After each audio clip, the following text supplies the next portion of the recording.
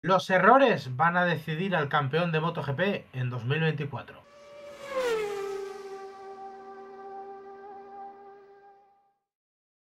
¿Qué tal amigos de motorsport.com España? Bienvenidos a otro vídeo de MotoGP aquí en el canal de YouTube. Hoy me vuelve a acompañar el redactor jefe de la web, José Carlos de Celis. ¿Qué tal, José Ñu? Muy buenas. Hola, muy buenas. Sí, vamos a comentar eh, este mundial que está tan apretado, cómo se puede decidir o cuál va a ser la clave, yo creo. Sí, porque ya sabéis que el campeonato está absolutamente espectacular, está muy emocionante.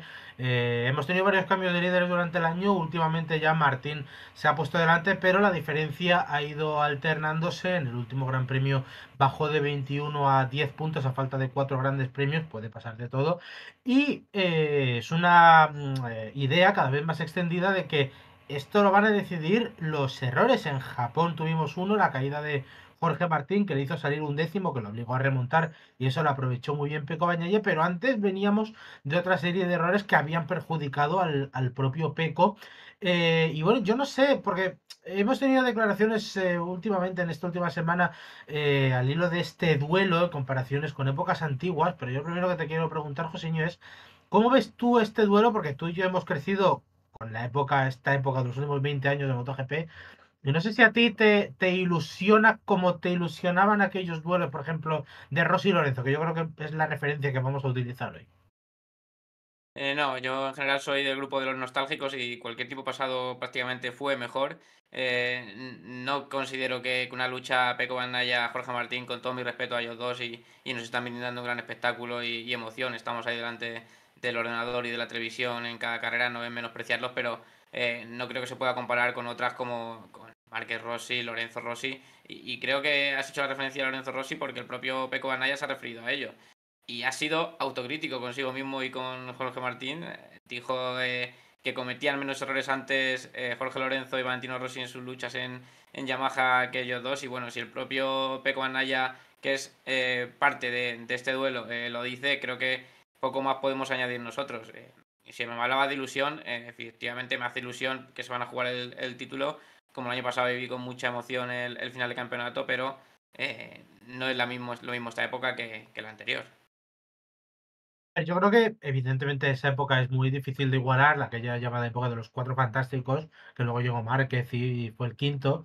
Pero es verdad que yo a, Peco le, valoro mucho eh, como piloto, creo que es mejor piloto de los que muchos piensan que es. Por ejemplo, viene de conseguir esa octava victoria dominical en Japón, que a mí me parece un pedazo de récord, pero es verdad que en ese duelo eh, puede ser, bueno, puede ser no, yo creo que es también que tiene ese menos enganche, eh, hay muchas diferencias, pero es verdad que eh, es, yo le valoro mucho que sea tan autocrítico, porque efectivamente él mismo lo dice, el propio Márquez ha dicho que él cree que ambos cometerán un error, incluso él mismo cometerá un error porque piensa que están a un nivel tan alto que lo normal, en cuanto a intensidad, que lo normal es que ambos cometan errores y que fuercen a los demás a cometerlos. No sé si tú crees que esto de Márquez es tal vez algo de falsa humildad o realmente él piensa que están a un nivel tan grande, llevados también por la GP24, que el resto tiene que forzar mucho para pillarles.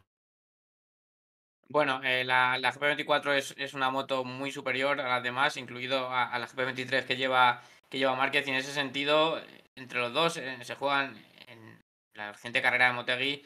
Eh, salía muy mal, eh, salía muy atrás Jorge Martín por el error de clasificación, remontó, gestionó muy bien las primeras vueltas, pero luego Peco Bandaya se vio en cabeza, se vio cuando ya no estaba en la lucha Pedro Acosta, se vio con una carrera que a priori iba a ser fácil, pero Jorge Martín con un gran ritmo por detrás le obligó a yo veía que en algún momento algunos dos se podían ir al, suelo porque se estaban forzando mucho el uno al otro, uno por llegar a, alcanzarle, el otro por mantenerle siempre eh, por encima de, un segundo la diferencia. Y, es tan alto el nivel que, tienen los dos con esa moto que sí, se, van a forzar a, errores, no solo a caídas.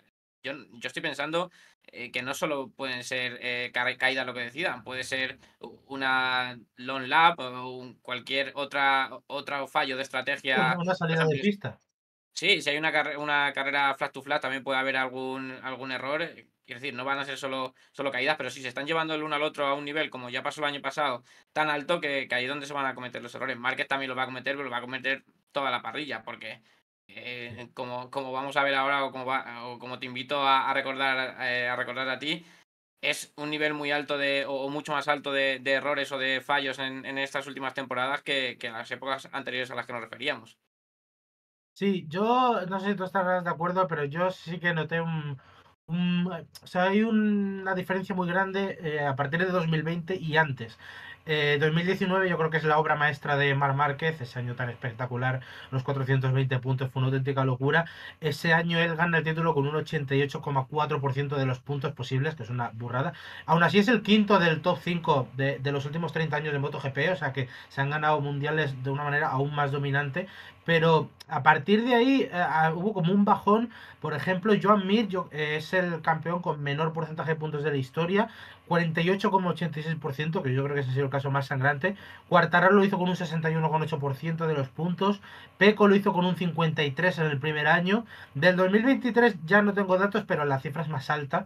Y yo creo que en este 2024, si las cuentas no me fallan, las cuentas son aún más altas, pero no estamos hablando de ese 80 y pico por ciento. O por ejemplo, Duhan en el 94-97 lo ganó con un 90%. O sea, son, eh, era una época donde la, la diferencia mecánica se notaba mucho más entre las motos, o sea, una GP23 hace 30 años llevada, ¿no? llevada a la práctica, no habría podido luchar por una victoria en la vida una moto satélite, jamás, pero eh, es verdad que eh, la diferencia ahí de, pilotos como que está presente. Por ejemplo, la diferencia Rossi Lorenzo. Lorenzo es campeón en 2010 con el 85% de los puntos. Valentino lo ganó en 2008 con un 82%. O sea que la diferencia ahí es notable, pero al final es verdad que, se están llevando a ese terreno muy alto, pero claro, yo lo, pensando sobre todo en Pego, que es el que en teoría va a jugarse el título el año que viene con Mar Márquez, em, yo creo que está en una situación en la que este año se lo puede permitir, pero el año que viene no te vas a poder permitir tantos fallos con Márquez, aun sabiendo que Márquez es un piloto que normalmente se cae más de 15 veces por año. Bueno, no sé si os puede permitir este año tampoco, ¿eh? dejar escapar un mundial en el que eres el, favorito, eres el equipo oficial con la moto más, más actualizada y sobre todo llegar al año que viene, ser compañero de Márquez como vigente campeón, no es lo mismo que llegar habiéndolo perdido contra un piloto del equipo satélite con la moto eh, oficial, con la moto más actual sí, pero de un equipo satélite que se, lleva, que se llevaría el número uno eh, a, otra marca, a otro equipo. En ese sentido, Peco Naya yo creo que que tiene más que perder que ganar, o yo lo veo, lo veo así. Eh, lo positivo, yo creo que como decía Peco Bandaya, que, que fallaba un poco Rossi y Lorenzo y quedaban primero o segundo.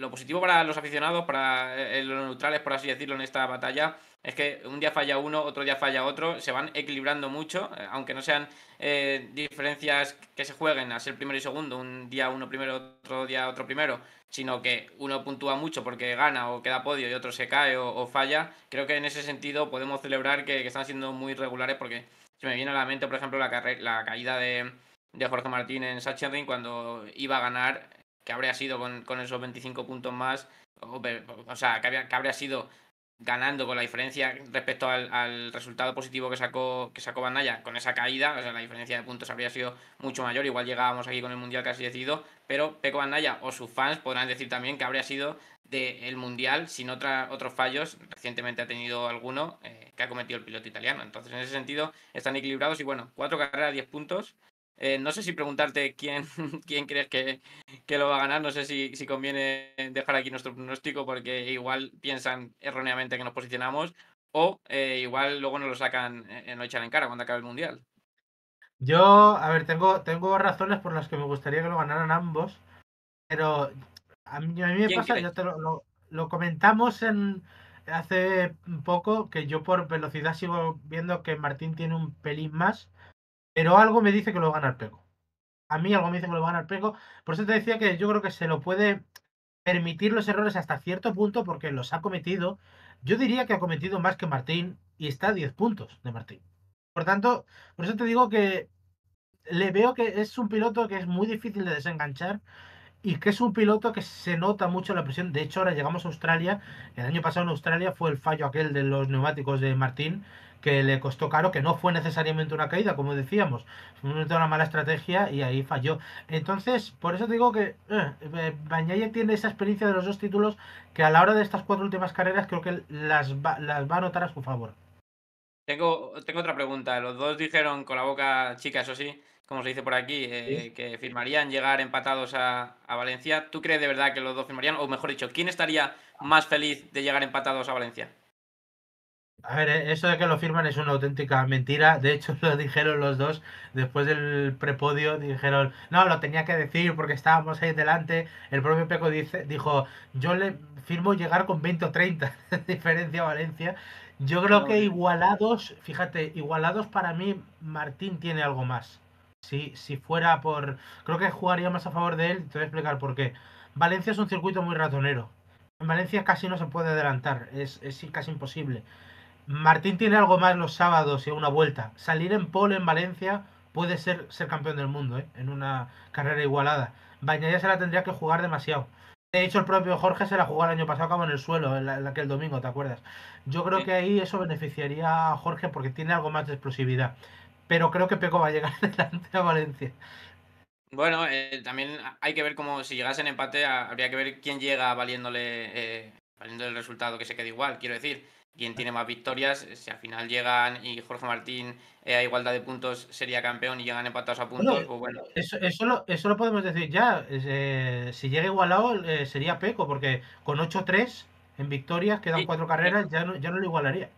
Buen punto, buen punto, sí. Podrían llegar a 8-7, así que le valdría a Peco. En ese sentido, eh, Peco, claro que ahora mismo firmaría, evidentemente, llegar empatados porque está a menos de 10 puntos, pero como tú dices, bueno, igual eh, llega incluso, incluso por delante. Lo veremos de todas formas y lo, lo seguiremos contando y, comentando aquí. Si te parece, dejamos aquí este debate y sobre todo pidiendo, por favor, que nos comenten a- eh, debajo lo que opinan, sobre todo con esta comparación que hizo el propio Peco sobre el Lorenzo eh, Rossi respecto al, al Martín Peco Bandaya. Sí, queremos leeros, a ver qué pensáis. Yo creo que mucha gente, evidentemente, tirará por ese Rosy Lorenzo, pero no sé si alguno creerá que se hace de menos a, a Bañaya o Martín. Nos leemos, eh, iremos contando efectivamente cada semana cómo vaya evolucionando el mundial, porque esto está súper emocionante. Y nada, volveremos con otro vídeo aquí en el canal de YouTube de motorsport.com. Ya sabéis que dadle a like, eh, podéis suscribiros para cualquier novedad, para que os llegue todo. Entrad en la web, que lo cubrimos todo. Y sobre todo, guardaos esas predicciones que hemos hecho porque llegará el día en que nos las tengáis que echar en cara. Gracias, Joseño, por acompañarme un día más. Pues nada, gracias a todos y como ha dicho Rubén, participad, que nos gusta, nos encanta leeros. Adiós. Adiós.